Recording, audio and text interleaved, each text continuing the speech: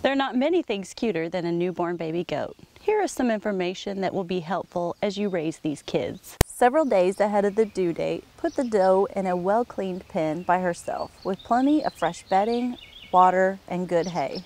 Don't be surprised if you check on her one morning and find her attending to two to three newborn kids, even if you didn't know she was in labor.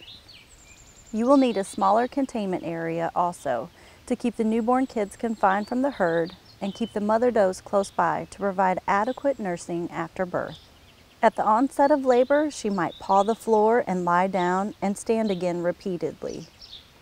The normal procedure after kidding is to clear the nose of mucus or membranes to prevent suffocation. Disinfect the navel with iodine and dry the kid. Clean up the soiled bedding and add fresh hay if needed. Next, you want to make sure the kids get that all-important first drink of colostrum, or first milk. Kid goats are born with almost no immune system.